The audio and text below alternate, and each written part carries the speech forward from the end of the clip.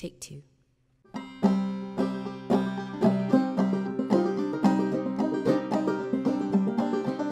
I had a dream. We were dying. We were falling. Falling flying. Music feels like the most true format for me to make sense of things that maybe should be secrets. But can you imagine a crowd? Would you imagine a crowd around you now? Front of all of the people. to throat sing in a church will be like uh, take that.